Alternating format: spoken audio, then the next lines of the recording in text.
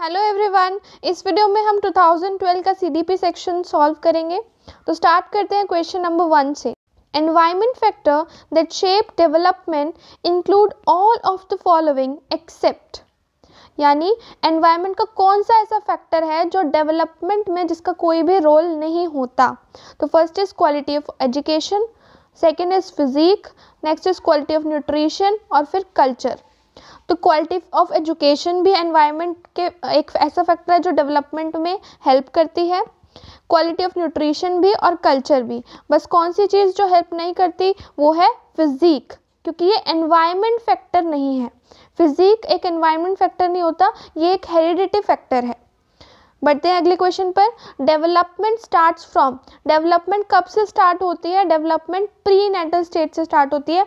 यानी right from the time जब baby mother की वॉर्म में होता है, तभी से डेवलपमेंट स्टार्ट हो जाती है. बढ़ते हैं अगले क्वेश्चन में. Which of the following is predominantly a heredity related factor कौन सा इनमें से हेरिडिटी से रिलेटेड फैक्टर है? एटीट्यूड टूवर्ड्स पियर ग्रुप देखो एटीट्यूड की बात करें तो वो हेरिडिटी से नहीं आता थिंकिंग पैटर्न भी हेरिडिटी से नहीं आता, लेकिन colour of the eye heredity का फैक्टर है तो इसमें से कौन सा फैक्टर जो हेरिडिटी से रिलेटेड है, वो होगा आपका ऑप्शन नंबर सी यानी colour of eye colour of eye colour of hair सभी हेरिडिटी के फैक्टर्स हैं. बढ़ते हैं अगले क्वेश्चन की तरफ़. Teachers are advise to involve their learners in group activities to involve their learners in a group activity because beside facilitating learning they also help in यानी teacher को ये एडवाइस किया जाता है कि वो बच्चों को ग्रुप एक्टिविटी में इन्वॉल्व करे। ऐसा क्यों किया जाता है? इससे वैल्यू कॉन्फ्लिक्ट होता है एग्रेशन आता है एंग्जाइटी होती है सोशलाइजेशन तो इसका सिंपल आंसर है सोशलाइजेशन यानी समाज में बच्चा इन्वॉल्व होता है तो वो उसके तरह रहना सीखता है और उससे कुछ सीखता है, उसे सीखने में मदद मिलती है। बढ़ते हैं नेक्स्ट क्वेश्चन की तरफ़ a student in aggressive in is behaviour towards is peer group एक स्टूडेंट एग्रेसिव है, यानी गुस्से वाला है पीयर ग्रुप में and does not conform to the norm of school और स्कूल के जो नॉर्म यानी रूल्स होते हैं, उनको फॉलो नहीं करता। तो इस स्टूडेंट को किस चीज़ में हेल्प की रिक्वायरमेंट है? First is cognitive domain next is psychomotor फिर अफेक्टिव या हायर ऑर्डर थिंकिंग डोमेन तो अगर कोई बच्चा लड़ रहा है हर एक से, यानी इसका मतलब है वो इमोशनली स्ट्रांग नहीं है, इसीलिए वो हर एक किसी से लड़ता रहता है तो इसीलिए उसको किसकी ज़रूरत है? अफेक्टिव डोमेन में उसको हेल्प चाहिए, क्योंकि साइकोमोटर होता है जब फिजिकली बच्चा वीक हो कॉग्नेटिव होता है जब थिंकिंग पावर वीक हो तो अफेक्टिव ही है जो इमोशन से रिलेटेड है। बढ़ते हैं अगले क्वेश्चन की तरफ़. The stage of cognitive development according to प्याजे in which a child display object permanence object permanence क्या होता है? जब बच्चा सिर्फ़ जो उसके सामने चीज़ है, उसके बारे में सोचे और उसी के बारे में ऑब्जेक्ट को मतलब अपने माइंड में बिठा ले कि ये वाटर जैसे एक छोटे बच्चे की दूध की बॉटल होती है तो उसके लिए उसके माइंड में इमेज बैठ गई, ये दूध की बॉटल इसी की है। तो ऑब्जेक्ट परमानेंस हो गया ऑब्जेक्ट उसके माइंड में क्लियर हो गई। तो ये चीज़ कब से स्टार्ट हो जाती है? सेंसरी मोटर स्टेज से। क्लियर बढ़ते हैं अगले क्वेश्चन में। According to Kohlberg the thinking process involve in the judgement about question of right and wrong is called एक ऐसा थिंकिंग प्रोसेस जहाँ पे राइट और रॉन्ग के बारे में जज करना शुरू कर देते हैं, उसको हम क्या कहते हैं? मोरल रीजनिंग जहाँ पे हम रीज़न देना शुरू कर दें क्या सही है और क्या गलत। बढ़ते हैं अगले क्वेश्चन की तरफ़।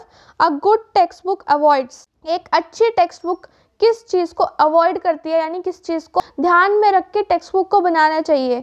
जेंडर बायस को अवॉइड करती है, क्योंकि अगर टेक्स्ट बुक में हमेशा इस तरह से लिखा होता है ही शी जब भी चीज़ लिखी हो, खाली ही करके या खाली शी करके नहीं लिखती, क्योंकि जेंडर बायस होगा उस चीज़ से तो जेंडर बायस को अवॉइड करती है एक अच्छी टेक्स्ट बुक बढ़ते हैं अगले क्वेश्चन पर।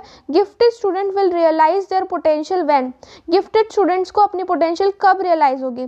जब उन्हें सेग्रीगेट कर दिया जाए सेग्रीगेट होता है, अलग कर दिया जाए तो अलग कभी नहीं करना। प्राइवेट कोचिंग सेंटर भी नहीं। They are tested frequently test से भी कोई फ़ायदा नहीं है।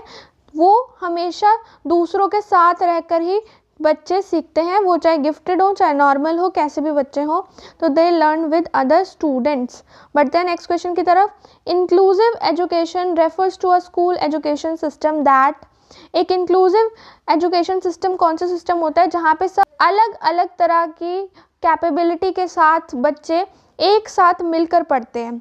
यानी कि इसमें ऑप्शन कौन सा है? Include children with disability include children regardless of physical intellectual social linguistic and of other difficulty abled condition यानी कि हर तरह का बच्चा साथ रह के जब पढ़ता है, उसको हम कहते हैं इंक्लूसिव एजुकेशन सिस्टम बढ़ते हैं नेक्स्ट क्वेश्चन की तरफ़ dyslexia is associated mainly with the difficulties in dyslexia मतलब रीडिंग में जिसको डिफ़िकल्टी होती है, उस प्रॉब्लम को हम क्या कहते हैं? डिसलेक्सिया बढ़ते हैं अगले क्वेश्चन की तरफ़. The major frustration that child with hearing loss face in classroom is जिसको हियरिंग लॉस की प्रॉब्लम है मतलब उसे सुनाई नहीं देता अच्छे से, उसको सबसे ज़्यादा किस चीज़ में प्रॉब्लम होगी? The inability to real the prescribe read the prescribe book किसी बुक को रीड करने में. वो सुन नहीं पा रहा तो रीड करने में तो उसे कोई प्रॉब्लम होनी नहीं चाहिए, ये गलत है। Inability of participate in sports and games तो गेम्स में भी पार्टिसिपेट कर सकता है, ये भी गलत है। इनएबिलिटी टू कम्युनिकेट और शेयर इन्फॉर्मेशन ये सही है, क्योंकि जब वो सुन नहीं पा रहा ढंग से तो वो कम्युनिकेट नहीं कर पाएगा किसी से, यानी ऑप्शन नंबर सी आपका करेक्ट आंसर होगा। The doing aspect of behaviour falls in काम करने के एस्पेक्ट को हम किसके अंदर डालते हैं? कोनेटिव डोमेन में। या फिर साइकोमोटर कोनेटिव की जगह साइकोमोटर भी आ सकता था। तो दोनों ही चीज़ एक ही चीज़ को रिप्रेजेंट करती हैं। जहाँ पे हम काम करते हैं, वो रिप्रेजेंट करता है हमारा साइकोमोटर या फिर कोनेटिव को। बढ़ते हैं अगले क्वेश्चन की तरफ़। A student works hard to clear an entrance test for admission into a medical college एक स्टूडेंट वर्क हार्ड करता है एंट्रेंस टेस्ट के लिए। तो स्टूडेंट किस तरह मोटिवेटेड है? यहाँ पे कोई भी स्टूडेंट को वर्क हार्ड करने के लिए नहीं कह रहा, वो खुद से कर रहा है। और जब काम खुद से हो तो बच्चा इंट्रेंसिकली मोटिवेटेड होता है, यानी अपने अंदर से मोटिवेटेड है। बढ़ते हैं अगले क्वेश्चन की तरफ़। A teacher engages her lecture in a number of group activity such as group discussion group project role play the learning dimension its highlight is यहाँ पे टीचर हर तरीके को यूज़ कर रहा है ग्रुप एक्टिविटी को ग्रुप डिस्कशन को group project को।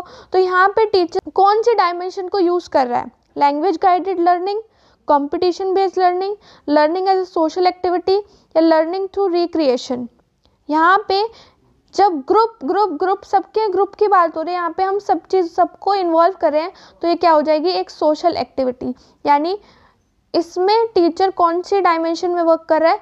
Learning is as a social activity बढ़ते हैं अगले क्वेश्चन की तरफ़.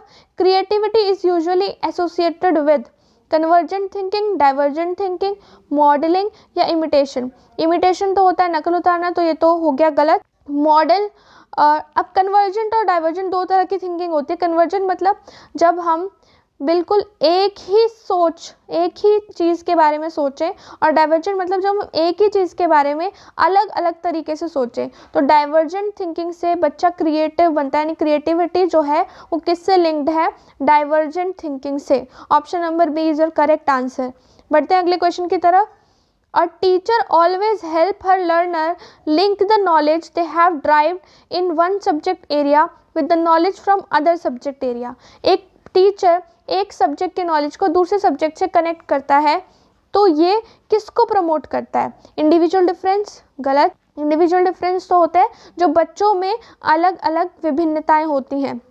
लर्नर ऑटोनॉमी नहीं री री होता है बच्चे को आ, कोई भी चीज़ मतलब देना जिसके थ्रू वो पढ़ाई में और एक्स्ट्रा जैसे रिवॉर्ड्स वगैरह वो री में आ जाते हैं आपके। Correlation and transfer of knowledge ये है। जब हम दो चीज़ों को रिलेट करें और एक नॉलेज को दूसरे नॉलेज में ट्रांसफ़र करें तो आपका option number D correct answer होगा। बढ़ते हैं अगले क्वेश्चन की तरफ़। Teacher should study the error of the students as they often indicate the जो बच्चों के एरर हैं, वो किस चीज़ को इंडिकेट करते हैं? एक्सटेंड ऑफ़ देयर नॉलेज यानी वो नॉलेज बढ़ गई है उनकी। Remedial strategy needed pathway for the ability grouping need for the differentiated curriculum जब एरर आ रहे हैं मतलब क्या है कि रेमेडियल स्ट्रेटेजी की ज़रूरत है, यानी उसमें सुधार लाने की ज़रूरत है। तो रेमेडियल स्ट्रेटेजी इसका आंसर होगा ऑप्शन नंबर बी बढ़ते हैं अगले क्वेश्चन की तरफ़। When previous learning makes no difference at all to the learning in new situation it is called जब पिछली लर्निंग एक दूसरी लर्निंग में कोई भी सहायता ना करे, कोई भी मदद ना करे, ऐसी लर्निंग को हम क्या कहते हैं?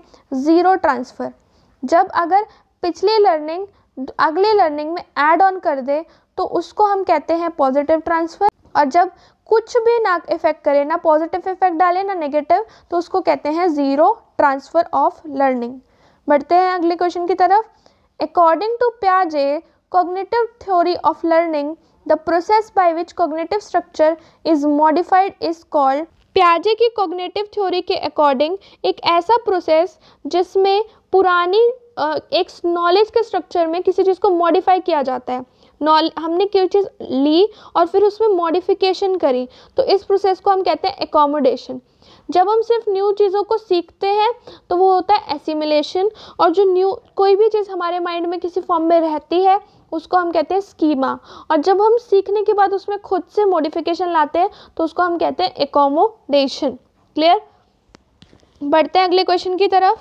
According to the motivation a teacher can enhance learning by एक टीचर लर्निंग को कैसे बढ़ा सकती है? By not having any expectation from student अगर स्टूडेंट से एक्सपेक्टेशन नहीं रखेंगे तो लर्निंग कैसे इंक्रीज होगी? By setting extremely high expectation बहुत ज़्यादा हाई एक्सपेक्टेशन रखेंगे तो ये भी गलत है। Setting realistic expectation from students ये सही है कि जितना रियलिस्टिक मतलब एक बिल्कुल ना ज़्यादा रखनी है, ना कम। बिल्कुल उस बच्चे के लेवल की और जितना आपने पढ़ाया, उतनी एक्सपेक्टेशन हमें रखनी है बच्चे से। ज़्यादा इन्फॉर्मेशन एक्सपेक्टेशन नहीं रखनी तो आपका आंसर होगा ऑप्शन नंबर सी बढ़ते हैं अगले क्वेश्चन की तरफ़। A teacher uses audio visual aid and physical activities in her teaching because they visual और फ़िज़िकल एक्टिविटी को टीचर अपनी एक्टिविटी में यूज़ करती है कि इससे क्या होता है? It provide a diversion to learning utilise maximum number of senses to enhance learning ये बिल्कुल सही है, क्योंकि लर्निंग में जितने सेंसेस और सेंस ऑर्गन हम यूज़ करेंगे, उतनी ज़्यादा इफ़ेक्टिव लर्निंग होगी। अगर हम खाली किसी चीज़ को पढ़ रहे हैं तो वो हमें उतना याद नहीं रहेगी। और अगर हम पढ़ रहे हैं और सुन रहे हैं तो और थोड़ी याद रहेगी। और पढ़ रहे हैं, सुन भी रहे हैं, लिख भी रहे हैं, और ज़्यादा। मतलब जितने हम सेंसेस को यूज़ करेंगे लर्निंग उतनी ज़्यादा इफ़ेक्टिव होगी। बढ़ते हैं अगले क्वेश्चन की तरफ़। When a teacher involves a visually challenged learner in a group activities with the other learner of the class, she is. जब एक टीचर विजुअली चैलेंज बच्चे को बाकी बच्चों के साथ में एक्टिविटीज़ कराती है तो वो किस चीज़ पे फोकस कर रही है? She is helping all the learner to develop sympathy towards the visual challenge कोई भी सिंपथी डेवलप नहीं होगी. Likely to increase the stress on the visually challenge visually challenge वाले पे वो स्ट्रेस बढ़ाना चाहती है. ये भी गलत है। Creating barrier to the learning ये भी गलत है। रुकावट नहीं बना रही टीचर कभी भी। Acting according to spirit of inclusive education ये बिल्कुल सही है। अभी हमने देखा था इंक्लूसिव एजुकेशन क्या होती है? अलग अलग तरह के बच्चों को साथ में बिठाकर पढ़ाना, इसी को हम कहते हैं इंक्लूसिव एजुकेशन तो टीचर इसी चीज़ पर फोकस कर रही है। बढ़ते हैं अगले क्वेश्चन की तरफ़। Science and art exhibition music and dance shows and bring out the school magazine are meant to science, art, exhibition, music, dance, shows, इन सबको क्यों रखा जाता है? They establish name for the school school का नाम बढ़ाने के लिए बिल्कुल गलत। सेटिस्फाई द पेरेंट्स पेरेंट्स को सेटिस्फाई करने के लिए ये भी गलत है। Provide a creative channel for learners ये बिल्कुल सही है, क्योंकि इससे क्या होता है कि लर्नर्स को एक मौका मिलता है अपनी क्रिएटिविटी को शो करने का। क्लियर तो इसके साथ हमारे 2012 के सभी क्वेश्चंस पूरे हो गए हैं।